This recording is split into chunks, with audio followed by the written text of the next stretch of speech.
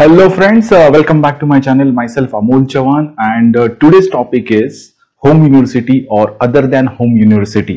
ठीक है? आज का टॉपिक क्या रहने वाला है कि होम यूनिवर्सिटी क्या होता है उसके फ़ायदे क्या है और उसमें कौन कौन अप्लाई कर सकते हैं और कितने सीट्स अवेलेबल रहते हैं। मेजोरिटी ऑफ़ द स्टूडेंट्स को पता ही नहीं रहता कि अगर कॉलेज में हंड्रेड सीट्स है तो वो कितने सीट्स के लिए एलिजिबल है। ठीक है? अकॉर्डिंग टू देयर कोटा कितने, अगर वो कैटेगरी में भी आता है तो उस कैटेगरी के लिए कितने सीट्स अवेलेबल है, वो भी उनको पता नहीं रहता है। दे ओनली थिंक दैट कि अगर यहाँ पे हंड्रेड सीट्स है तो मुझे इजीली एडमिशन मिल जाएगा। बट ऐसी चीज़ नहीं है you have to understand the seat matrix seat matrix क्या होता है वो ठीक से आपको समझना चाहिए। बहुत सारे कैटेगरीज है, बहुत सारे कोटाज है, और अगर हंड्रेड सीट्स का अगर हम काउंट लेते हैं तो उसमें से महाराष्ट्र सीट्स कितने रहते हैं, ऑल इंडिया सीट्स कितने रहते हैं, या फिर बहुत सारे टाइप्स है तो हम एक एक डिस्कस करेंगे। बट आज के वीडियो का टॉपिक है कि होम यूनिवर्सिटी ठीक है? तो उस पर हम फोकस करने वाले उसके लिए कितने सीट्स रहेंगे, वो हम डिस्कस करेंगे ओके तो without wasting much more time start करते हैं। देखो टोटल सीट्स जो रहेंगे total seats for the admission so there are two categories first one is the sanction intake ठीक है? सैंक्शन इनटेक रहता है। और दूसरा जो रहता है that is supernumerary quota ठीक है? तो सैंक्शन इनटेक मतलब ये गवर्नमेंट की तरफ़ से उनको सैंक्शन किया रहता है कॉलेज को। लेट इट बी अगर 60 सीट्स है पर क्लास ठीक है? तो वो सैंक्शन इनटेक है। बट कॉलेज क्या कर सकता है? उसके ऊपर भी एडमिशन ले सकता है based on the different quotas अलग अलग कोटाज रहते हैं like T F W S है ई डब्ल्यू एस है, ठीक है? तो वो सब सुपर न्यूमररी कोटा में आते हैं। मतलब this seats are different than this मतलब अगर सैंक्शन 60 भी है, ठीक है? तो उसके ऊपर मतलब बेस्ड ऑन द 60 कुछ percentage okay 10 percent five percent total 15 percent ऐसे कुछ तो सीट्स इसके ऊपर कॉलेज एडमिट कर सकता है। ठीक है? ओके तो वो हम बाद में डिस्कस करेंगे। आज का टॉपिक मेरा क्या है? सैंक्शन इनटेक पे। ओके क्योंकि हम जो होम यूनिवर्सिटी समझने वाले हैं that comes under a sanction intake ठीक है? तो आगे जाते हैं। ओके सो सैंक्शन इनटेक लेटेड भी अगर मेरा 100 परसेंट कंसिडर कर लिया मतलब यहाँ पे अगर मैंने 100 सीट कंसिडर कर लिए, ठीक है? 100 सीट्स फॉर द 100 परसेंट ठीक है? तो उसमें से अब दो टाइप्स है, एक इंस्टीट्यूट लेवल और एक कैप सीट कैप मतलब क्या रहता है? सेंट्रलाइज्ड एडमिशन प्रोसेस ठीक है? जो अभी आपका सीडी का रिज़ल्ट आ चुका है तो next step is what registration okay तो वो रजिस्ट्रेशन कैसे करना है, क्या करना है क्या क्या स्टेप्स है, वो भी मैं आपको डिटेल में बता दूँगा, ठीक है? तो इसमें 100 परसेंट में से 80 परसेंट कैप में आ जाता है सेंट्रलाइज एडमिशन प्रोसेस में। मतलब 100 में से 80 सीट्स आर अवेलेबल हियर ठीक है? और अगर इंस्टीट्यूट लेवल इंस्टीट्यूट लेवल मतलब क्या रहता है? कॉलेजेस वो खुद से फिलअप कर सकते हैं ट्वेंटी परसेंट सीट्स उनका अलग से प्रोसीजर रहता है, उसके लिए आपको हर एक कॉलेज को विज़िट करना पड़ेगा, जहाँ जहाँ पे इंस्टीट्यूट लेवल सीट्स अवेलेबल है, ठीक है? Not every college has institute level seats तो इसलिए जिस कॉलेजेस में इंस्टीट्यूट लेवल सीट्स अवेलेबल है तो उस कॉलेज में आपको जाना पड़ेगा, वहाँ का प्रोसेस समझना पड़ेगा and then you have to apply for that ठीक है? तो ये इंस्टीट्यूट लेवल पे होता है तो समझो 100 सीट्स है तो उसमें से 20 सीट यहाँ पे आ गए, ठीक है? तो अब कैप के लिए कितना आ गया? 80 सीट्स ही आ गया मेरे पास, ठीक है? सैंक्शन इंडेक कितना है? हंड्रेड बट अगर मैं कैप में जाता हूँ तो मेरे पास सिर्फ़ 80 सीट्स आ गए, ठीक है? अब 80 सीट्स में से मतलब टोटल सैंक्शन इंटेक अगर लेते हैं तो उसमें से 65 परसेंट ठीक है? और 15 परसेंट ये दो डिवाइड किया 80 को कैसे देखो डिवाइड किया 65 एंड 15 में। तो 65 is for the Maharashtra state seats Maharashtra state seats मतलब क्या रहता है? सीईटी एग्ज़ाम के बेसिस पे। ठीक है? जितने भी स्टूडेंट ने सीईटी एग्ज़ाम दिया है they can apply for this seats और ऑल इंडिया क्या रहता है? तो जिन्होंने जेई एग्ज़ाम दिया है they can apply for this तो अगर 100 सीट्स है तो उसमें से 65 इनके लिए अवेलेबल है। और इनके लिए 15 सीट्स अवेलेबल है। अब देखो कैसे सीट्स कम होते जा रहे हैं। ठीक है? आप जब देखोगे तो अरे 100 सीट्स है, मेरा तो नंबर इजीली लगना चाहिए but this is not the case आपको समझना चाहिए कि कोटा वाइज कहाँ कहाँ पे सीट डिस्ट्रीब्यूट हो रहे हैं। ठीक है? तो अब हमारा टॉपिक आज का है होम यूनिवर्सिटी ठीक है? तो अगर 100 सीट्स है तो उसमें से होम यूनिवर्सिटी के लिए सिर्फ़ 45 सीट्स अवेलेबल है थ्रू कैप समझ में आ रहा है? Is it clear to you तो यहाँ पे आपको ध्यान देना है कि मेरे पास सिर्फ़ 45 सीट्स है 100 में से। और यहाँ पे ऑलमोस्ट अराउंड 20 सीट्स आ रहे हैं। ठीक है, एक हाथ दूसरा सीट इधर उधर हो सकता है, ठीक है। बट नॉर्मली अराउंड 45 सीट्स 100 में से, ठीक है। और you can say simply half of the seats यहाँ पे आ रहे हैं। किन के लिए? तो होम यूनिवर्सिटी के लिए। तो होम यूनिवर्सिटी क्या होता है? वो हम आगे डिटेल में पढ़ेंगे। बट बट अब ये जो सीट्स है, इसमें भी बहुत सारे डिस्ट्रीब्यूशन होते हैं, वो हम बाद में देखेंगे। आज सिर्फ़ हम होम यूनिवर्सिटी पे फोकस करते हैं, ठीक है? तो अब ये एक चीज़ पता चल गई है कि मुझे 100 सीट्स अगर रहते हैं सैंक्शन तो उसमें से अराउंड 45 ठीक है? मतलब half of this almost half of this seats मेरे लिए अवेलेबल है। अगर मैं सीटी एग्ज़ाम के थ्रू और वो भी होम यूनिवर्सिटी के थ्रू एडमिशन लेता हूँ तो होम यूनिवर्सिटी क्या है? वो हम देखते हैं आगे बट उससे पहले मैं ये जो परसेंटाइल है, वो मैं एग्ज़ाम्पल के साथ आपको बताता हूँ। देखो यहाँ पे। ये एक एग्ज़ाम्पल लेते हैं ठीक है? तो यहाँ पे उन्होंने पहले ही क्लियर कर दिया देखो 80 percent for the cap and 20 percent for the institute level ये जो टॉपिक्स है ये हम बाद में डिस्कस करेंगे। नेक्स्ट वीडियो में मेरे आ जाएगा ठीक है? क्या करना है क्या नहीं करना है। बट बट यहाँ पे आप देख सकते हो 80 परसेंट सीट जैसे मैंने यहाँ पे कहा था। See 80 percent seat for the cap ठीक है? अब आगे जाएँगे तो देखो सैंक्शन इंटेक कितना है इस ब्रांच के लिए। ओके okay, इस ब्रांच के लिए मेरा सैंक्शन इंटेक है 240 240 ठीक है? तो 240 में से एमएस स्टेट मतलब महाराष्ट्र स्टेट कैंडिडेट तो यहाँ पे देखो मैंने क्या कहा, महाराष्ट्र स्टेट सीट्स कितने 65 आने चाहिए मेरे, ठीक है? 100 अगर है तो 65 परसेंट मतलब सैंक्शन इनटेक के 65 परसेंट ये होना चाहिए। अगर मैं कैलकुलेटर लेता हूँ, यहाँ पे आप देखो तो सैंक्शन इनटेक कितना है मेरा 240 इनटू पॉइंट सिक्स तो ये देखो 156 आ गया। करेक्ट तो ये हो गया मेरा महाराष्ट्र स्टेट सीट मतलब सीईटी के लिए, ठीक है? और अगर ऑल इंडिया देखते हैं तो मैंने देखो यहाँ पे आपको पहले ही क्लियर किया कि ऑल इंडिया के लिए सिर्फ़ 15 percent of the sanction intake है, ठीक है? तो 15 परसेंट अगर लेते हैं हम यहाँ पे देखो, अब sanction intake so 240 forty into point one five thirty six तो आप देख सकते हो यहाँ पे 36 सीट्स है, ठीक है? अब इसमें से हम डिवाइड करते हैं दो पार्ट्स में, आपको पता है। इसमें से दो पार्ट्स बनते हैं। कौन से बनते हैं? तो एक बनता है होम यूनिवर्सिटी और दूसरा बनता है other than home university correct जैसे मैंने यहाँ पे आपको पहले ही क्लियर कर दिया। देखो यहाँ पे home university and other than home तो almost 45 percent of the sanction intake आना चाहिए यहाँ पे। करेक्ट तो आप देखो यहाँ पे सैंक्शन इंटेक कितना है? मेरा 240 forty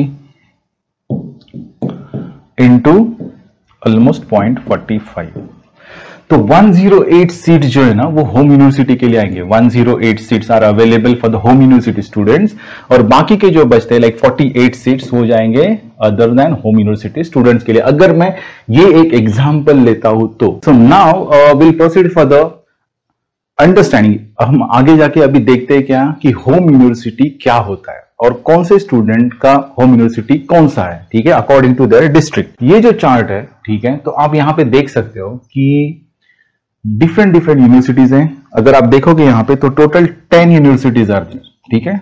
For the Maharashtra state admission process ठीक है? तो यहाँ पे टेन यूनिवर्सिटीज दी है।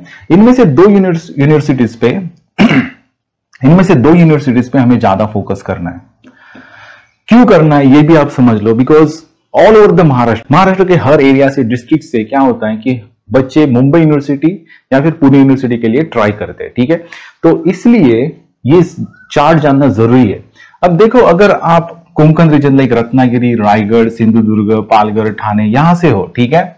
तो you falls under Mumbai university मतलब ये आपका होम यूनिवर्सिटी हो गया, ठीक है? अगर कोई बच्चा सिंधुदुर्ग से पढ़ रहा है, ठीक है? कोई बच्चा रायगढ़ से पढ़ रहा है तो उसका होम यूनिवर्सिटी हो गया मुंबई वैसे ही पुणे में देखो क्या क्या आ रहे हैं। सावित्रीबाई फुले पुणे यूनिवर्सिटी में नगर नासिक एंड पुणे, ठीक है? तो ये तीनों एरिया के जो बच्चे हैं, जो अप्लाइंग फॉर द इंजीनियरिंग उनके लिए होम यूनिवर्सिटी क्या बन जाता है? साउथरी बाई फुले पुणे यूनिवर्सिटी मतलब इसका मीनिंग क्या हो गया कि मुंबई यूनिवर्सिटी में अगर 100 सीट्स है, मुंबई यूनिवर्सिटी में अगर 100 सीट्स है तो उसमें से almost around 45 seats are available for the students okay 45 seats are available for this student अगर सावित्रीबाई फुले पुणे यूनिवर्सिटी में अगर 100 सीट्स है तो उसमें से 45 मतलब 45 सीट्स नगर नासिक पुणे स्टूडेंट्स के लिए अवेलेबल है. ठीक है?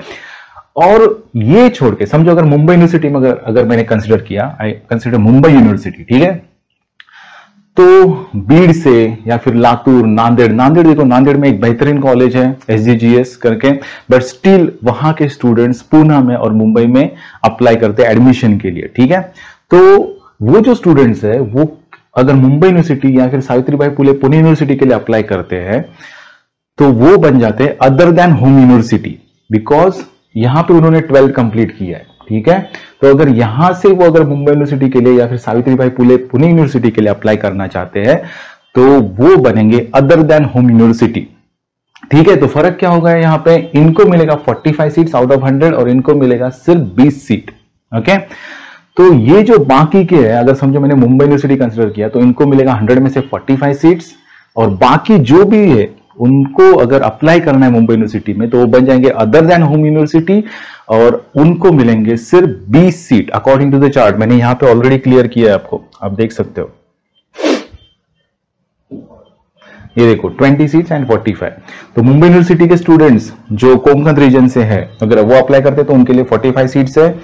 और मुंबई का एरिया छोड़ के, ठीक है, जो मैंने उस चार्ट में डिफाइन किया वो अगर बच्चे मुंबई यूनिवर्सिटी के लिए ट्राई करते हैं तो उनको मिलेंगे सिर्फ़ 20 सीट्स आउट ऑफ़ 100 ठीक है? तो ये एक चीज़ आपको ध्यान में रखनी है while applying for the different universities अब यहाँ पे आप देख सकते हो, ठीक है? डिफरेंट एरियाज़ दिए हुए हैं, ठीक है? अगर मैं नांदेड़ का स्टूडेंट हूँ और अगर मैं एस के लिए एस नांदेड़ कॉलेज बेहतरीन कॉलेज है, अगर वहाँ पे मैं अप्लाई करता हूँ that becomes a home university for them और उनको 45 सीट्स मिल जाएँगे, ठीक है? तो एक बात सिंपल है कि अगर समझो मैं शिवाजी यूनिवर्सिटी में बिलोंग करता हूँ और मेरा एरिया लाइक सांगली, सातारा, कोल्हापुर है तो मैं बन जाता हूँ home university for the Shivaji university but अगर if I apply for the Mumbai university Savitribai Phule university और एनी अदर यूनिवर्सिटी तो मैं क्या बनूँगा? Other than home university this is the simple thing okay ठीक है? तो यहाँ पे एक चीज़ आपको ध्यान में रखनी है वाइल अप्लाइंग कि क्या होता है? बाकी सब यूनिवर्सिटीज छोड़ दो। मुंबई यूनिवर्सिटी और सावित्रीबाई फुले यूनिवर्सिटी, ठीक है? तो फोकस करते हैं मुंबई यूनिवर्सिटी और सावित्रीबाई फुले यूनिवर्सिटी। इन दोनों पे हम क्यों फोकस कर रहे हैं? बिकॉज़ महाराष्ट्र के हर ईच एंड एवरी कॉर्नर में से स्टूडेंट्स इन दो यूनिवर्सिटीज के लिए अप्लाई करते हैं। Okay okay? तो इनका जो अदर देन होम यूनिवर्सिटी का जो मेरिट है, वो बहुत हाई होता है, ठीक है? तो वहाँ पे नंबर लगना बहुत मुश्किल हो जाता है in the top most colleges okay वो भी हम बाद में डिस्कस करेंगे कि कितना मेरिट हाई होता है compare to the home university तो ये दो यूनिवर्सिटीज बाकी आप किसी भी यूनिवर्सिटी में अगर आप other than home university admission लेते हो तो उधर उतना मेरिट नहीं होता है। ओके ठीक है? Now coming to the next तो अब ये होम यूनिवर्सिटी जो रहता है ना, वो नॉर्मली आपको प्राइवेट कॉलेजेस में मिलेगा। देखो, ये मैंने एक पी मॉडर्न कॉलेज का एग्ज़ाम्पल लिया है, ठीक है? तो यहाँ पे आप देख सकते हो other than home university and home university ठीक है? तो ये डिफरेंट कैटेगरीज उन्होंने दिए हैं। आप देख सकते हो सैंक्शन इंटेक कितना है? 120 तो 120 का 45 परसेंट जो है, वो आपका होम यूनिवर्सिटी आना चाहिए। तो देखते हैं कैलकुलेट करके फिर से एक बार। देखो 120 मेरा सैंक्शन इंटेक है into almost point forty five तो होम यूनिवर्सिटी के लिए देखो 54 मतलब 52 तक आ गया अप्रोक्सीमेटली ठीक है? वैसे ही अगर मैं यहाँ पे 120 twenty into zero point two twenty percent लेता हूँ, ठीक है? तो 24 मतलब यहाँ पे देखो 21 ठीक है? तो इतने सीट्स ऐसे आने चाहिए। So this is the ratio okay तो नॉर्मली प्राइवेट कॉलेजेस में आपको ये home university other than home university ये सब आपको मिलेगा। देखो, मैंने स्टार्टिंग में ही कहा था कि सुपर न्यूमररी कोटा तो ये देखो ईडब्ल्यू e है टीएफडब्ल्यू है, ठीक है? तो ये हम बाद में डिस्कस करेंगे कि वहाँ पे कैसे अप्लाई करना है and which students are eligible for it कौन से स्टूडेंट इसके लिए एलिजिबल है? कौन से स्टूडेंट इसके लिए अप्लाई कर सकते हैं? ठीक है? बट अब ये होम यूनिवर्सिटी और अदर देन होम यूनिवर्सिटी का जो कंसेप्ट uh, है दैट इज़ नॉट एप्लीकेबल कहाँ पे? तो ऑटोनॉमस कॉलेजेस में। अब यहाँ पे देख सकते हो see this is the example of autonomous college ये विजेटिया है ओके okay? और ये अमरावती का government college of engineering both are autonomous ठीक है? और ऑटोनॉमस कॉलेज में अदर देन होम यूनिवर्सिटी का कंसेप्ट नहीं होता है, ठीक है? जो भी सैंक्शन इनटेक है that is for the Maharashtra state seats ठीक है? यहाँ पे आप देख सकते हो sanction intake is equal to the Maharashtra state seats ठीक है? तो यहाँ पे आपको सिर्फ़ स्टेट लेवल मतलब होम यूनिवर्सिटी ही दिखेगा। There is nothing like other than home university concept तो एक चीज़ आपको देखनी है कि home university is available for everyone ठीक है? Other than home university separate जो कोटा है that is for the private colleges autonomous colleges में other than home university quota नहीं रहता है. Every one has equal opportunity in the autonomous colleges हर एक को इक्वल अपॉर्चुनिटी मिलेगा. All seats belongs to state level okay तो final conclusion अगर हम देखते हैं, ठीक है? तो कंक्लूजन में देखो क्या क्या होगा. फ़र्स्ट चीज़ if you are applying for the Mumbai University or Savitri Bai Phule Pune University तो यहाँ पे आपको ध्यान में रखना है कि अदर देन होम यूनिवर्सिटी का merit is very high compare to any other university ठीक है? ओके दूसरी चीज़ H U and O H U is available in colleges like a private colleges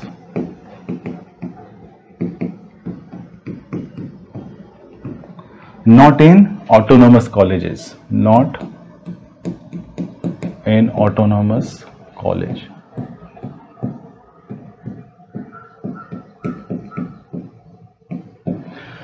तो यहाँ पे आ, ये दो चीज़ें आपको ध्यान में रखने वाइल फिलिंग द फॉर्म्स ठीक है? तो लास्ट में कंक्लूजन में मैं एक चीज़ कहना चाहता हूँ। आगे मेरा एक वीडियो रहेगा कि टॉप कॉलेजेस कौन से है। हर एक एरिया में से टॉप कॉलेजेस कौन से है, ठीक है? तो वहाँ पे मुझे लगता है पर्सनली बिकॉज़ मैंने इसमें 10 से 12 साल काम किया है तो एक सिंपल एग्जांपल देता हूँ कि अगर आपको नांदेड़ में अगर एसजीजीएस कॉलेज मिल रहा है, ठीक है?